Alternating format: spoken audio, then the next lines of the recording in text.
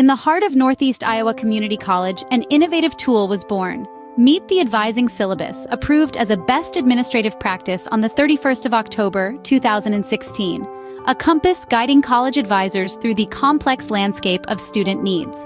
The Advising Syllabus serves two pivotal purposes. Firstly, it empowers advisors with a clear understanding of their unique philosophy, a philosophy that centers around the student, fostering their growth and development. By exploring different advising models and methods, advisors can pinpoint an approach that resonates. Secondly, the syllabus strengthens the advisor's methodology.